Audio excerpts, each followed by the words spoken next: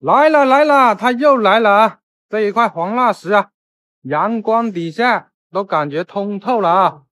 看这个表皮的话，非常的细腻，整个石头没看到有杂质的表现，就是上面有一些条纹，应该是有一点夹纹啊。这边有一道大裂，中间还带了一点指甲纹的啊。这边有一个小小的切口啊，看里面的肉质还是很干净的啊。这个石头主要就看里面的纹多不多了，从表皮来看，总体表现还是可以的。好，我们给它切上一刀。好，这个石头刚给它切了一刀啊，我们来打开看一下。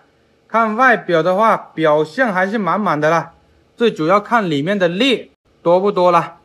来，两位，刚才一刀下去，美食的一瞬间啊，哇塞！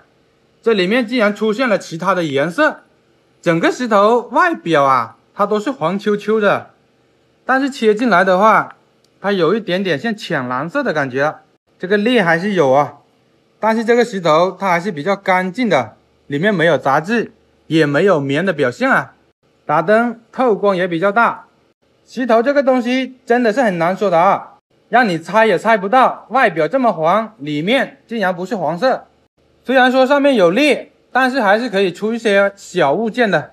每天与您分享美食啊！如果你也喜欢石头的话，请关注小哥啦！感谢你收看小哥的视频啊！